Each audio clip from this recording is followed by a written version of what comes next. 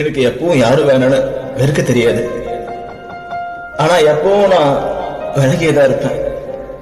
ஏன் தெரியுமா? நான் அன்பு வைக்க தகுதி இல்லாதவன். என்னோட அன்பும் என் மேல வைக்கிற அன்பும் என்ன நேசிக்கிறவங்களுக்கு கஷ்டத்தை கொடுக்கும். எதுக்குன்னு ஒரு உறவு ஒரு குடும்பம் எல்லாம் இருந்தும் எதுலையும் ஒட்ட விடாம